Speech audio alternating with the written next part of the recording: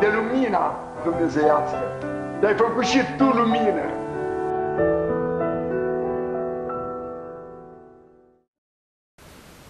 Lucrarea de doctorat a părintelui are titlul acesta Jerfă și răscumpărare și atunci când o citești, privind în urmă la toată activitatea părintelui, îți dai seama că a fost în mod clar, hai să spunem un termen uzual, chintesența gândirii și vieții lui. Ceea ce a scris acolo a trăit, iar pentru, ca, pentru a scrie ceea ce a scris acolo, a citit foarte mult și s-a rugat foarte mult. De altfel, vedeți dumneavoastră, este o teză de doctorat scrisă la mai mult de 50 de ani. A simțit lucrurile de acolo și, de fapt, acolo sunt în germene toate, toate ideile pe care mai târziu le-a le exprimat mai pe larg. Cum era Părintele ca preot slujitor? Cum trăia Sfânta Liturghie, dacă vă amintiți? Cineva îmi spunea despre slujirea Părintelui Galeriu că este permanent o sărbătoare. O trăia și transmitea această trăire tuturor.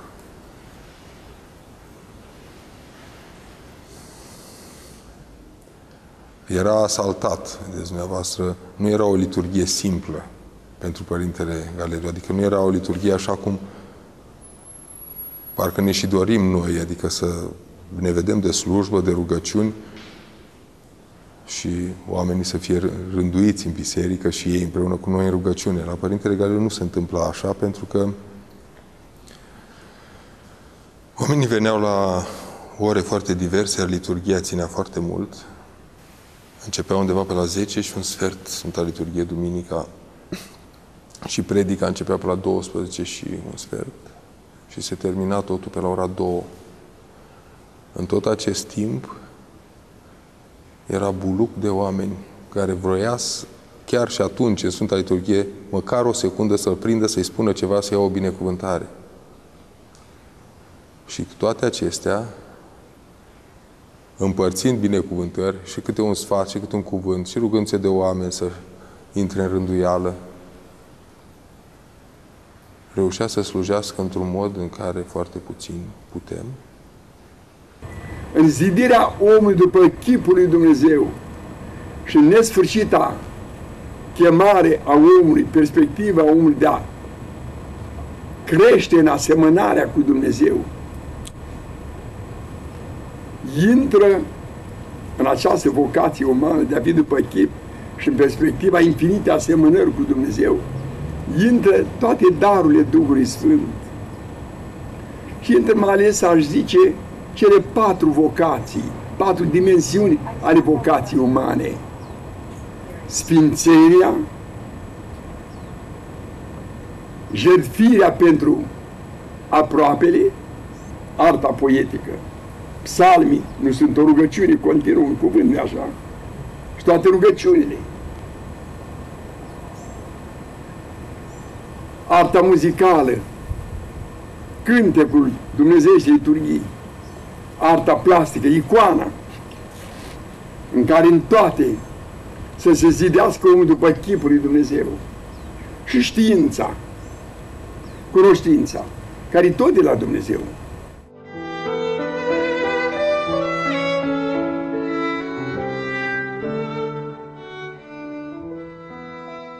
încurcat în problemele vieții. Eram absolvent al facultății de chimie, căsătorit cu patru copii. Am căutat și o biserică a Sfântul Silvestru. Am intrat acolo în biserică într-o seară la un acatist și nu am văzut când a intrat Părintele Galeriu, am auzit prima dată vocea. Prima mea reacție a fost, acesta mi se potrivește. Și ședeam așa cu Părintele până că spovedea până seara la 11 jumătate, 12 și atunci am simțit și eu puțin ce înseamnă Sfânta Spovedanie. Adică simțeam cum scot nămol din fântâna inimii, că se mai curăța cât de cât, cât de cât. Pe de o parte, de când a fost copil, a avut darul acesta și îl punea chiar preotul din sat să țină predică. Și îi spunea tatălui pe drum, Costache, să mai crape un diavol astăzi, adică în predica lui să mai crape un. Dar în același timp a fost foarte multă muncă, studiu, fiindcă spunea tot mai ca Argentina acum, acolo în sat, lua capra, păștea capra, lângă, o punea să pască lângă biserică și citea tot timpul capra ca să dea puțin lapte e, copiilor. După aceea, pregătirea. Spunea părintele Arion de la Ploiești, mergând într-o sâmbătă seara în cimitir să mai facă puțină slujbă cu niște credincioși, a luat după aceea pe o scurtătură, pe o alee, ca să ajungă acasă. Pe alee îl vede înainte pe părintele Galeriu, vorbind tare, gesticulând cu mâinile pe sus. A ajuns în dreptul părinte, să rămână părinte binecuvântat. Ce faceți, părinte? Repet predica pentru mâine. Deci părintele cu voce tare, inclusiv la gesturi, repeta predica pentru a doua zi. Era acolo la Ploiești, cu patru copii, cărcați casa plină. În fiecare toamnă, părintele aducea o bătrânică acasă. O punea în bucătărie și spunea Maica preoteasă că era o bătrânică aceasta mai pretențioasă, se ducea dimineața ca să facă pachetele copilor pentru școală și bătrânica îi reproșea. Dar nu pot să mă las să dorm, a venit să să mă scoli, adică deci tot ea era nemulțumită pentru așa că era deranjată. Dar așa și Maica preoteasă poate să vorbească mult mai mult despre aceste uh, aspect. Spunea Maica preoteasă, Argentina, că atunci când a fost părintele la închisoare, nu a putut să spună că a suferit de lipsă de mâncare sau de alte lucruri, pentru că în fiecare dimineață găsea pe prispa casei o brânză, cămășuțe, material. Așa, oamenii au avut grijă să răsplătească dărnicia aceasta a părintelui atunci când era în necaz.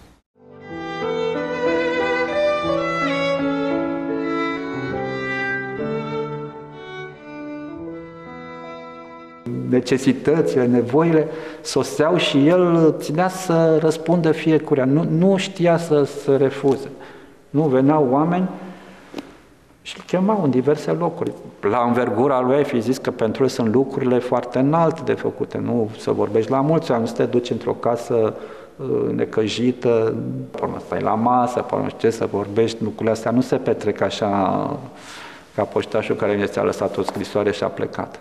Și uite că l-a ținut Dumnezeu destul de mult, eu când l-am cunoscut era foarte bolnav de ficat, lua esențiale, esențiale erau niște pastile minune, apăruseră tocmai în Occident și se aduceau cu mari sacrificii pe diverse canale, fiecare cum putea. Și până s-a, s-a îmbunătățit situația lui și a putut să lucreze neobosit. Nu pentru un om care are anumite suferințe sau slăbiciuni, te protejezi. El nu s-a protejat niciodată, deloc. Din potrivă, s-a, s-a, s-a dăruit cu timp, fără timp și fără să aleagă, știți? Noi avem tendința să spunem, ăsta mi-e mai drag, ăsta merită, ăsta merită să fac ceva pentru el, ăsta mai puțin merită, dau vorzul la gâște, nu.